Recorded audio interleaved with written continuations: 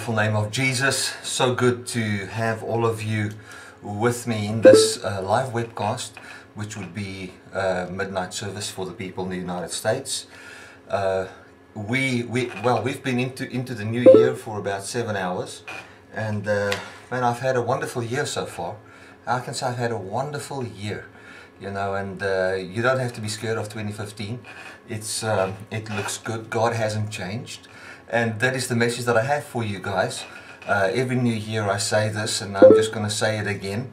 Uh, God is not going to change. The same God that had the foreknowledge of Jesus Christ, that came to sancti- sanctify us in the Spirit, that has begotten us unto a living hope, is uh, the God of 2015. Uh, the Lord that has provided for you up until today uh, is the same God that will continue to provide for you in this year to come. The, the God that gave his son 2,000 years ago, he doesn't uh, slumber nor does he sleep. He is alive, he's well, and he is, um, is, is, is quick over his word to see it manifest in your life. And um, you know, I want to just talk a little bit about what the Word of God is for 2015, and then a little bit about uh, the, you know, Dynamic Love Web Church and our Web Fellowship, and uh, what we are planning for next year. But let us just pray together. Father, thank you so much for the privilege of gathering together around your gospel, ending one year, going to the next year. There's nothing special about um, having a message this time. This is not what guarantees us that this year will be blessed because we started in a beautiful way. What guarantees us blessedness in this year? What guarantees us your fruit and um, victory over the flesh is Jesus, the final word. Thank you for that, Father. I thank you for everybody that has um, put this time aside to slot in to hear this message. Thank you for this wonderful fellowship, Lord. Amen. Well, um, if we look, I've, I've seen Dawn has put up a, um, a, a video about the Word of God, and she basically just took my message. And uh, well, that's good. You know, at least I get the opportunity to preach it in 2015 before any of you guys. Um, congratulations with that word on. What a good word. Um, what I what I want to say is that the Word of God for 2015 is the message of Jesus Christ, and it is Jesus. Who He is at the right hand of the Father is the hope we can have for 2015. And I'm going to just read it from. Um, let me see. I, I don't even know if I. No, that is the communion. We're going to do that last. Um, we're going to. Yeah, I'm just going to read it right here. I didn't set it up so that you can show the screen. It says here in verse 3 Blessed be the God and the Father of our Lord Jesus Christ, according to his mercies, has regenerated us again, or has begotten us again to a living hope through the resurrection of Jesus Christ from the dead. He has begotten us unto an inheritance incorruptible and undefiled and unfading, reserved in heaven for you, by the power of God, having been kept through the faith to a salvation ready to be revealed in the last times. Now, uh, you know, I was reading that and I was thinking of those words, and I mean, it's quite some big words. And a fisherman wrote that. Peter, that couldn't read or write, you know, he um, he wrote that. Uh, uh, you know, he went and met with Jesus. After he met with Jesus, there was such a passion in his heart that he said, "I need to learn how to write, that I can write down what is inside my heart." That I can write down this message, this eternal word of God, which is the word of 2015. I want to tell you that I've got tremendous peace about the fact that um, the God of 2014 is also the God of 2015, which was the same God of 2013 and 2012 because all those years I just experienced love and peace and joy. I experienced um, just who he who he is in the midst of tribulation. He's even the God of 2008. And 2008 was a very bad year for us um, financially and all those kind of things. But the God that cared for us in 2008 when we lost basically all of our support that was alive when the the big economic breakdown came. Uh, you know, the one that gave me peace in that time, the one that smiled over my life when I had nothing, you know, or had less.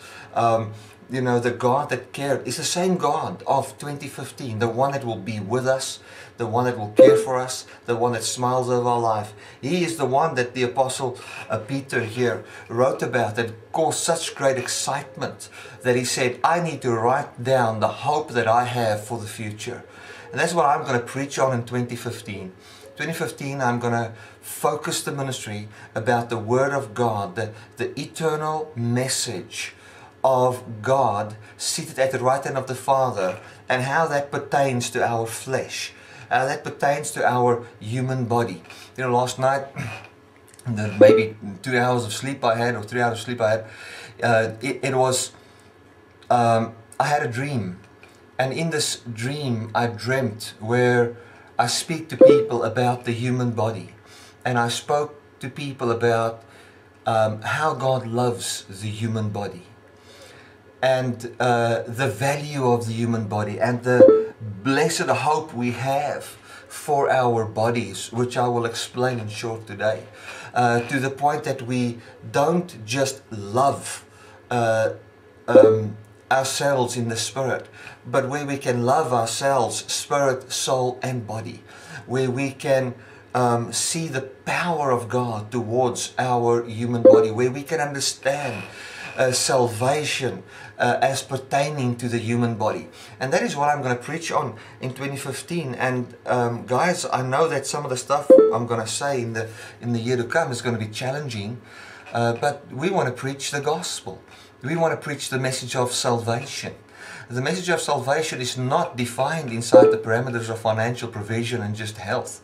Uh, salvation is defined in uh, uh, the in Jesus seated at the right hand of the Father as the final word about us and as the blessed hope that we can have. We can have an expectation every day that what is true in the Trinity um, is true in us and shall manifest as true in us. And that is God's word. Let us just look at Peter here again. He says in verse 3, he says, um, this is 1 Peter 1 verse 3.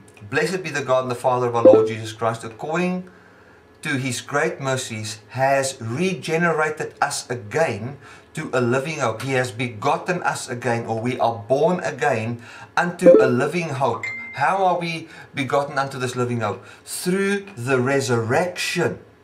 Through the resurrection of Jesus Christ from the dead. So he says here that through the resurrection we were begotten unto a living hope. Through the resurrection, when Jesus Christ was resurrected, what happened? We saw a human conquer death. We saw a human conquer the consequences of sin we saw a man greater than death. We saw a human conquering the sting of death. And we see that death holds no power over a human being anymore. And this is what it means it means that sin's power.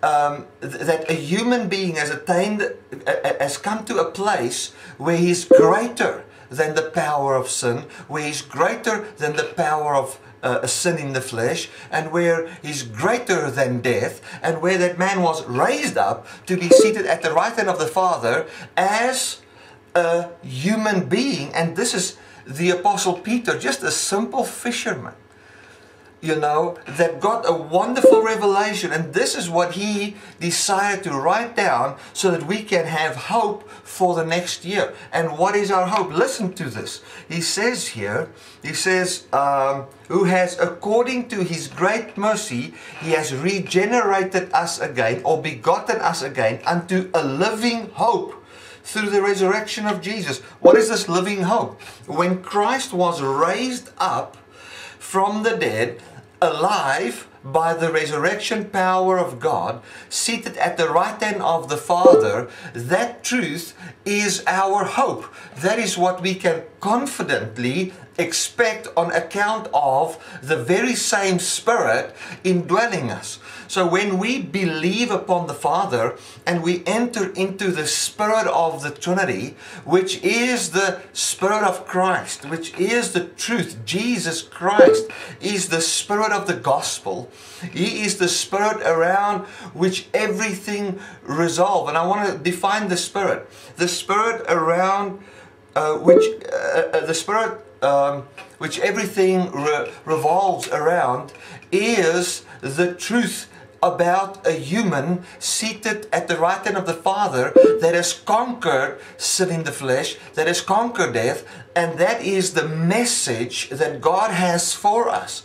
That is the word of God for 2015. So, and that is the same word for 2016, 2017. It's the same word which was from the beginning you know, which was manifested as and became true in uh, uh, um, in the resurrection of Christ, in the incarnation, death, and resurrection, which is the word for us today. So, what we can have and what we can see is the word of our acceptance, the word of our perfection, the word of how a, a man has conquered, a man as high priest, as the word about us, has conquered sin and death so that we can have a confident expectation that we will see the fruit of the Spirit in our life. Where I can see in 2015, I've got this excitement in my heart that in 2015 I'm going to see more of the fruit of the Spirit in my life than ever before. You know, because I can just find how my heart has been persuaded about the Spirit, how my mind gets, uh, you know, just thinking about the Spirit all the time, uh, revolving around the Spirit of God, which is the Lord. The Bible says the Lord is the Spirit, the Spirit of my innocence, the Spirit of the victory that is come for mankind in the resurrection. And that is the message and the hope I have for 2015. And whatever power can come from that. From there is the power for my provision. From there is the power for uh, for my peace. From there is the power for my joy. From there is the power from where I would love people. From there is my expectation towards my own physical body, uh, towards my marriage, and all those kind of things. That is what we have. Uh, the Word of God for us. The Word of God for us is Jesus Christ. So. Um, in uh, Web Church in 2015, that is what we're going to preach about. That's what I'm going to preach about. I know I've had people tell me, Bertie, you know, veer away from that message. You know, it is a very controversial message. It might sound, you know, as if you say we can live immortal today and all those kind of things. People, I don't care how it's going to sound. I just care for the truth. And I want what made the Apostle Paul, right in the first five um, in, in the first five uh, um, verses write about the importance of the living hope. He has begotten us unto a living hope. And if the Spirit that raised Christ from the dead indwells you. Meaning, if we, if I can believe in the spirit of a man sitting at the right hand of the Father in this truth, and that truth indwells my heart, and I've got the Holy Spirit inside my heart, the very same Spirit that raised Christ from the dead shall also quicken our mortal bodies. What that means is that even if you would die in this year to come. Your body shall be quickened in the resurrection of Christ by the Holy Spirit. Should Christ return in this life, in, this year, we will find the Spirit of God in our li- inside us. Quicken our mortal body, change us into immortal human beings where we experience the same life that is experienced by Jesus, He at the right hand of the Father. Should Jesus not return, or should you live to see 2016, what shall happen? We shall see in this life the fruit of this Spirit manifesting in us, wherein we find effortless change, effortless life, effortless joy, effortless fruit of the Spirit, an overwhelming love for ourselves and others, an overwhelming love for the kingdom of God. We would find generosity that we've never known. We, we would find a love and a passion come forth in our heart like we've never seen because we are seeing deeper and deeper into this truth. We are seeing the Spirit of God. We are living by the Spirit of God, and that's how we have life. Glory to God. You know, last night, uh, you know, people invited us to go, and I just want to keep keep track of the time. Uh, last night, people invited us, and um, what was so nice was the last 45 minutes of last year, I could sit and share the gospel with people that I've never met in my life, you know, because they invited friends over as well and everything, and, and, and, some of their neighbors and people that I've never met in my life. And I could share the gospel of grace with them. And I could end last year, you know, entering the new year, sharing the gospel of grace, having such a compassion and a love for people wherein I can see the fruit of the Spirit in my life, where I can see a person not as bad but as good, where I can look at people the way God looks at them, and where I could see this old guy, you know. Um, just so touched by the love of God, touched by the grace of God. And I could see he says, Amen. You know, we, you know, this is we, this is a, like a brand new gospel. This is this is the truth that we that we need to hear. Um, and he, he said that at, when he became older, he realized, you know, that things can't always be as he thought it would. And that is how the Holy Spirit was already working in his heart. But that is the wonderful thing that I want to share with you. In this year to come, what we can expect is for God not to change, to be the same. Nothing's going to change in the year to come. What I mean by that is the principle by which you're going to have life is not all of a sudden going to become the law. So lean towards grace. Be engulfed in the grace of God, in the love of God. You know, He loves you, He cares for you, and that's what we can expect in 2015. We, we can expect that God will not become a legalist in the year to come. We can expect that in this year to come, God's not going to change His mind and all of a sudden tithing is now going to become the way unto financial prosperity. You know, we, God's not going to change His mind about you his final mind, his final word, his final thought about you, which was the first thought, is Jesus. Glory to God. Let us take this year and say, Father, this year I make myself available to live in this reality as you live in this reality. Amen. Well, we're going to take communion together. Um, it's three minutes before the new year. And I want to say to you, a happy new year, friends. And I just believe that in Dynamic Love Web Church, we're going to just um, experience so much of His goodness this year. Uh, the goodness that has always been available for us. We're going to experience the unchanging God. Glory to God. Um, in this year to come, we're going to just see um, that which God envisioned for us in the fruit of the Spirit, that love come forth effortlessly as it has come forth in this past year. Glory to God. Uh, when we take the bread and we break it, we celebrate the eternal Word of God, seated at the right hand of the Father for us. And when we take the wine and we drink it, we drink it in remembrance of His death, and we acknowledge His death. That the lawman has died, and that we are begotten unto a new and living hope. And that in this year to come, we will just see, not because it's a special year, but where we make ourselves available, where we say, Father, we are only available for this. We're not available for anything else. Glory to God. Hallelujah. So let us have our communion together, um, you know, as we enter this uh, brand new year 2015. And I want to tell you, uh, my prayer for you is that in 2015, we will, you, you will just see health, you will see uh, blessedness, and should something happen in your life where you don't see everything as blessed and, and all those kind of things, you will live far above that on account of the life of the Spirit inside you. I want to say this to you the peace we have for 2015 is not that we have a God that will give us all our worldly things we need, is that we have a God that loves us. He's our daddy, he's our Abba, and and he's the, the name Abba, the name Father, is the final word about us. Blessed 2015. Let's have our communion together, and after the communion, I'm going to pray for you guys. And uh, if, if the Lord's got some prophetic words that He want to speak through me for some of you guys watching, I would like to do that as well. So let's enjoy our communion.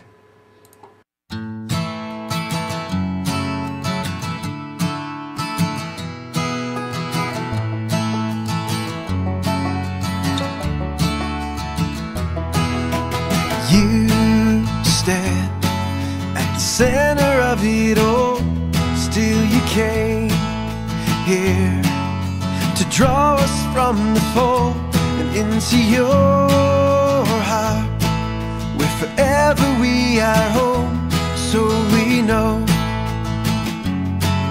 that we are not alone.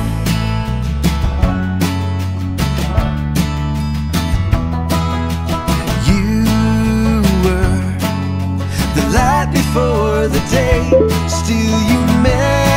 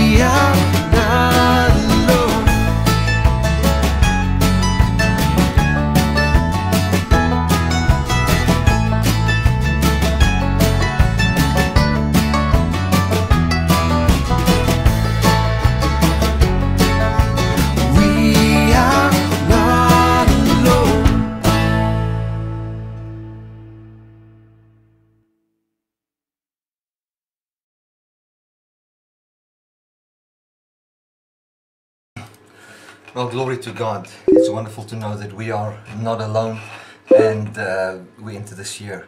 So, well, guys, welcome to 2015. It's the first, 1st of January uh, in the United States now, for those of you that are watching from the US. Uh, you know, I've, I just know that this year is going to be awesome for you. Let me pray for you and, um, you know, let's see if, if the Lord has got some prophetic word that wants to speak through me. If there is, I will speak. If there's not, then, uh, then we're just going to pray. Right. Father, I want to thank you so much for every person that is watching today. I want to thank you for the love that you have and your hands that is extended towards us. I thank you, Father, that we can go into this year with a boldness because of you. I thank you, Father, that when I look at all the things that must happen in 2015, if I just think of myself, where I must preach, all the traveling that must take place, and all those kind of things, I can just say, Thank you, Father, that um, you have a living hope for every person. And you want every person to hear about that. You want people to know this truth. And thank you, Lord, that we as a web fellowship can gather around at midnight um, in the US at last night when we gathered at midnight in South Africa, gather around your gospel, knowing that this is our hope. This is the truth about us, wherein we can now come. And Father, this is what I want to do, and this is what I feel in my heart. I want to come as the pastor of Dynamic Love Web Church with the web pastors that are watching and everyone that's slotted in. We want to just say, our lives is available for the resurrection power of Christ. We are not aiming for death, we are aiming for life. We are expecting your return. We are expecting glorified human bodies in your return. And thank you, Father, that we can now relate to ourselves in a way where we can love ourselves, spirit, soul, and body, where we don't detest our body or our flesh, but where we know this is the temple of God. This is holy. It's a place where God chose to dwell, and it will, it, we will receive that immortality even manifesting in our human flesh. Thank you for that, Father, in Jesus' mighty name. I want to pray for the pastors of Dynamic Love Web Church. I thank you, Father, that they are strengthened, they are encouraged by your word. I want to thank you, Father, for everything they've done in the past year and um, in this year to come. Father, I want to thank you for the love they have for people. I want to thank you for the embrace that I can see, your warm embrace through them towards, towards everybody here, including myself. Thank you for that, Father. I want to pray for them. I thank you, Father, they are strengthened in this year to come by your Spirit. And that you, I thank you that you are the, the same word of 2014 is the word for them in 2015. I want to pray for our, all our members. I thank you, Lord, that they are loved. I thank you, Lord, that in this year to come, that they will just see the, the fruit of the Spirit manifest in their lives. I thank you, Lord, that they will have such an experience of the real them and the real you inside them that they will stand amazed at what you got right effortlessly in their life. Thank you for that, Father. Thank you that they can, uh, their eyes can be opened to who they are and who you are more and more in Jesus' mighty name. I also want to pray for all those that will still join our fellowship. Thank you, Lord, that they are on their way to hear the good news and have great fellowship around your gospel. Thank you for that, Lord, in Jesus' mighty name. Hallelujah. Thank you, Father. Thank you, Jesus. You are such a good God. Father, if you want to just speak through me, I'm open to, um, to, to share your, your word. Thank you, Lord. Thank you, Lord. I just feel, you know, uh, especially the people in the United States, and this can be true for other people as well, because a lot of the stuff revolves around this, is that church, let us not be afraid about wars and rumors of wars. Let us not be afraid um, about Muslims. Let us not have the, in this year to come, let us not give the news a big the news and CNN and BBC and all those things a big place in our heart. For that is not the word about you, says the Lord. Let us not be afraid. Let us not be afraid about our financial situation. Let us not be afraid about our children and our grandchildren. For I am the Lord God, and I've cared for you, and I will continue to care for you. Listen to me Hear my word and you will see life and peace and joy in the midst of a world full of turmoil. I love the world, says the Lord, and I want to see salvation come to them. There are millions of people that are calling upon me, that has answered the inner call, wherein I've spoken in their hearts, and I will make use of all those that are available to, um, to bring my message to them and I will make use of you. And um, I also feel the Lord says that he will make use of you in ways that you have not expected and in, in simple ways where you thought, well, I thought that I just said something very small to somebody, but the testimony has come that it changed his life.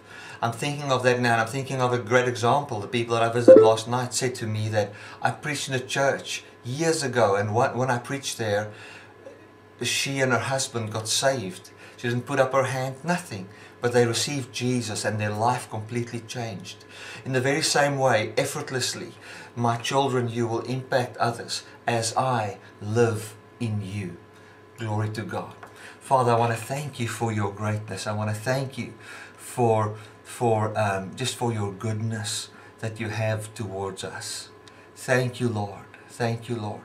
I also see that um, in, in this year, there's somebody watching right now, that you feel your marriage um, is not going to be restored and you are thinking of getting divorced and um, uh, uh, uh you know just getting out of the whole thing you think it's never going to uh, uh, uh, it cannot be restored i feel the lord says in this year your marriage shall be restored it shall be restored not because of a special year but because your heart and her heart will be opened for the gospel.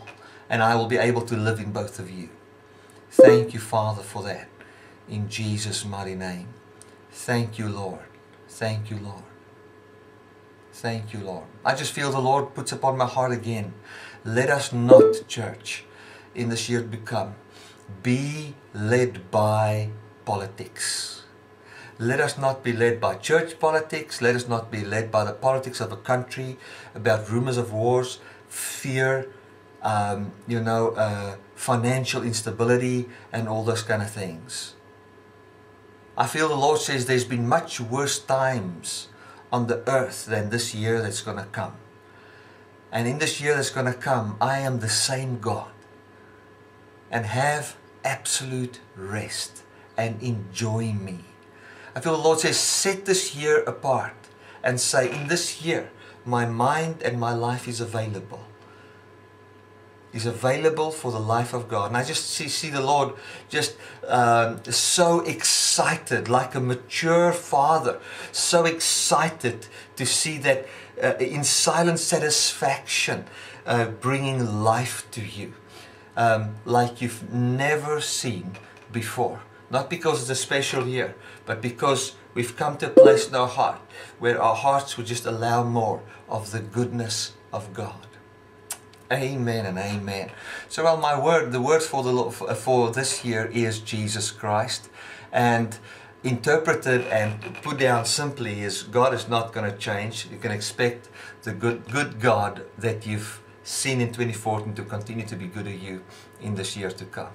Glory to God. Guys, thank you so much. I'm so grateful for you. I also thought of just thanking everybody that has faithfully sponsored Dynamic Love Ministries and uh, sponsored our web fellowship. We, um, you know, financially it's going well with us. Uh, and we can reach people. I want to thank you for just your faithfulness and just being part of this ministry uh, wherein you have uh, throughout this year just paid for plane tickets. Um, I mean, the rent for places. Uh, we, um, I could live. We could reach out. We could give a lot of money away in helping people. Um, you know, we could start the web church. We could, um, you know, there's just so many things that could take place. So many people's lives that could be impacted. And I want to thank you for that it just enables Helena and I to, um, to minister the gospel, to preach the gospel, enables me to spend time studying the word, pondering upon the word, reading, uh, thinking about the gospel, where I don't have to think about business, where I don't have to think about all those things. And I want to just thank the people, some of the people that are watching that have supported me for 20 years. Um, thank you so much for your faithfulness financially towards this ministry. Uh, you know, I don't talk a lot about money. I don't even thank people that give, uh, you know, uh, publicly like this. Uh, but I just felt to do this. Thank you so much for just who you are. I'm looking forward to a time of, um, you know, a great family time. Uh, when I'm, I'll be in, in Europe this year. Um, I'll also be in the United States this year. I, I think we're going to do, I don't know if it's six countries in Europe or something. We, um, there's a lot of stuff coming up for Europe. Uh, the United States. I'll be there in May. Um, I'll, I'll, put up the itinerary. I'm so excited to meet with you guys and just have our web family come together and just see each other in the physical, shake one another's hand, give a hug, give a kiss, you know, and just say, you know, here I am in, you know, in, in the physical, this is who we are. Uh, I'm so looking forward to that. Thank you so much, guys, and just have a blessed year. You are the blessed of God. Amen.